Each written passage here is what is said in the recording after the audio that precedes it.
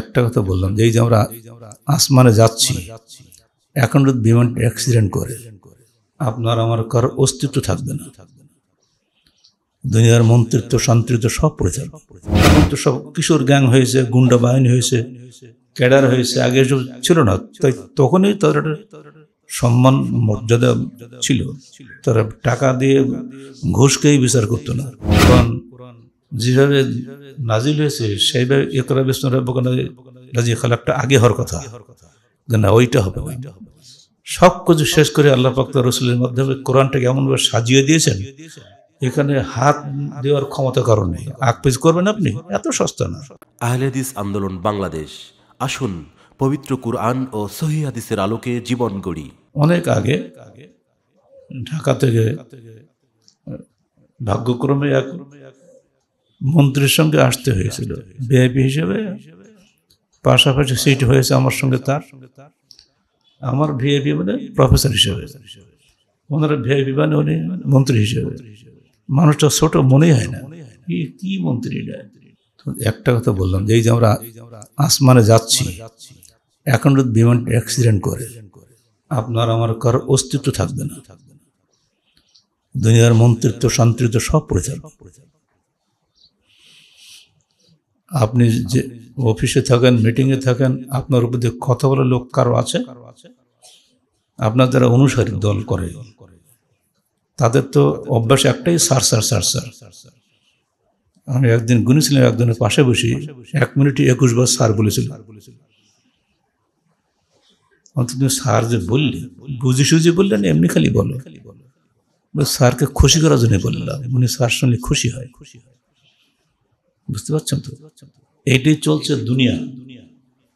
নিরাপত্তা পরিষদে পনেরোটা রাষ্ট্র সদস্য, সারা পৃথিবী থেকে পনেরোটা রাষ্ট্র নিরাপত্তা পরিষদের সদস্য।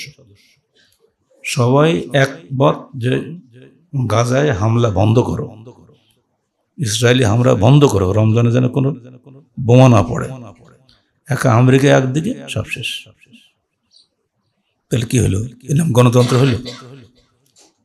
এরাকা তো ওখানে না, আপনার গ্রামে যে সালিশ করতে বসেন না। মাতব্বাজ যা বলবে, তার বিপরীত কথা বলে ক্ষমতা কারও আছে? করলে তো তার এখন তো সব কিশোর গ্যাং হয়েছে, গুন্ডা বাহিনী হয়েছে, ক্যাডার হয়েছে, আগে এসব ছিল না। তাই তখনই তার সম্মান, মর্যাদা ছিল। তারা টাকা দিয়ে ঘুষকেই বিচার করতো না। আর এখন তো একেবারে অরাজক অবস্থা। বিচার আসার সব কিছু টাকার বিনিময়ে। গরিবের তো কিছু টাকা নেই। যাই হোক, উপসংগটা আমার চেয়ে আপনারাই ভালো জানেন, বর্তমান অবস্থা। যেখানে নির্বাচন, সেখানেই ফিকশন নির্বাচনে আমরা ঘোর বিরোধী এই কারণে। যা যোগ্যতা আছে তাকে সামনে দাও, সে কাজ করবে তোমরা খালি পরামর্শ দাও।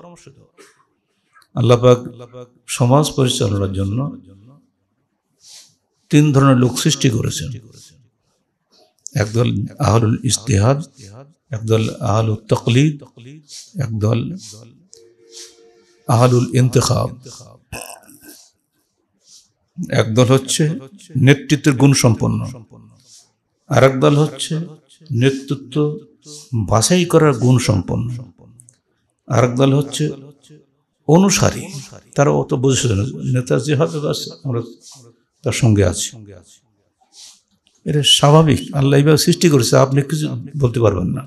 আপনার কোনো আপনি নিজেই বুঝে দেখেন। মানে পাঁচ ছেলে, এক ছেলে মেধাবী। তাকে সম্মান দেবেন না আপনি? বাকিগুলো তো অত বোঝে না। ভাইজা করে তাই। এমনকি অনেক স্থানে বড় ভাইয়ের চাইতে ছোট ভাই বেশি বুদ্ধিমান। ছোট ভাইকে বড় ভাইয়ের মানে বেশি। আছেন এরকম? বহু পরিবার এরকম আছে। এটা আল্লাহর সৃষ্টি, আপনি কিছু করতে পারবেন না। আল্লাহর সৃষ্টির উপরে হাত দেওয়ার ক্ষমতা আপনার নাই। আমাদের দায়িত্ব হলো যারা নেতৃত্বের যোগ্যতা সম্পন্ন, তাকে এগিয়ে দাও। তুমি তার অনুসরণ করো। হয়তো করে তাকে ডিস্টার্ব করো না ওর কাজ করতে পারবে না। যখন দেখব তার কাজের কোনো মূল্যায়ন নেই, সে আর কাজ করবে না। আর সে কাজ না করলে আবার সমাজ অচল। বাস বাস সিটের ড্রাইভার বসে আছে না? বসে পেছন দিয়ে খালি তার খোসা নেই বা গাড়ি চালাতে পারবে? হ্যাঁ ঘুম লাগলে আপনি সজাগ করতে পারেন। কিন্তু তো গাড়ি চালাতেই পারবে এই ফার্স্ট গিয়ার দাও থার্ড গিয়ার দাও সেকেন্ড গিয়ার দাও এটা ঠিক হলো না এই করো করো, ধারে। এত ডিস্টার্ব করলে কোনো নেতা কাজ চলতে পারে না। কোরআনের শুরুতেই আল্লাহ এগুলি বলেছেন। আপনারা সবাই জানেন সুরান বাকারা সর্বশেষ আয়াত নাজিল হয়েছে দুশো একাশি নম্বর আয়াত। ওটা হলো আল্লাহ রসুলের মৃত্যুর সাত মতান্তরে একুশ দিন পূর্বে। তাহলে হিসাব মতো বাকারার শেষ দিকে সুরা হচ্ছে না? কিন্তু আনিসে প্রথমে কেন? কোরআন যেভাবে নাজিল হয়েছে, সেইভাবে একরা বিষ্ণু রাজি খালাকটা আগে হওয়ার কথা। না, ওইটা হবে না।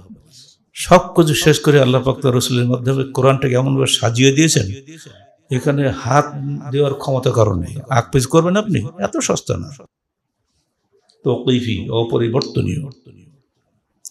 এর মধ্যে আমাদের জন্য উপদেশ হলো এই যে আখেরাতে বিশ্বাস যদি না থাকে, পুরো জিন্দগিটাই বরবাদ। অনেকে আমি বললাম, এখন আমরা দুজনেই এমন অবস্থায় আছি, এই মুহূর্তে বিমান অ্যাক্সিডেন্ট করলে আপনিও শেষ, আমিও শেষ। পরকালে কি পাবেন? কি পাবেন দুনিয়াতে মার্শাল্লাহ আপনি যত সম্মান পাইছেন, আর তো এত এত সম্মান আর হয় না। মন্ত্রী? আর আমরা তো কিছুই নেই সম্মান তাহলে ভাই, কথা তো ঠিকই বললেন। আমি বলি, এটা একটু ভাববেন খালি। মন্ত্রিত্বের মাধ্যমে আপনি আখরাতের পাতেও সঞ্চয় করেন। এই সুযোগ সবাই পাবে না। আপনি অনেক কিছু করতে পারবেন। যদি না করে খেলে নিজের পাতেও সঞ্চয় করেন। সব পড়ে থাকবে দুনিয়া, আখরাতে কিছু পাবেন না।